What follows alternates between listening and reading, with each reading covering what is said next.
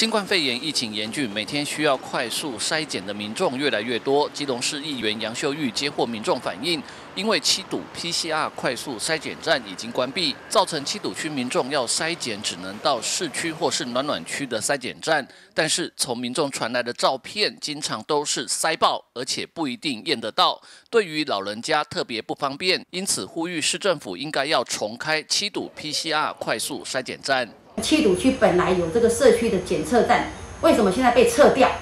那导致我们很多的乡亲，包括很多的一些长者，必须要到市区去做检测。那到现场检测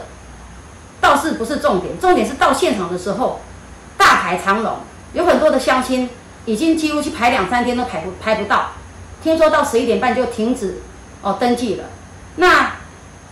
呃，秀玉在这边就是提醒我们市政府相关单位，人流也非常的多，因为我们这边有一个七堵台铁的一个大站，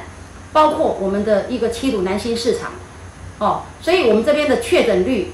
就很难讲，但是不能用我们之前的数据，哦，是说把我们这边的这个整个检测站来删掉。那我是觉得说，我们七堵火车站就在呃呃就在那个我们基隆市来讲，算是一个大站，哦，那我们在这边交通非常的便利。只要坐坐火车到我们七堵火车站来这边做检测，大概走路三分钟就到了。所以我这边在在这边呼呼吁我们呃市府哈，能够就是针对我们之前这个检测站能够恢复，让我们相亲更便利。杨秀玉表示，相较于其他六个区，七堵区目前确诊人数或许不是最多的热区，但是范围大，长辈老人家也多，重开 PCR 快速筛检站有其必要性。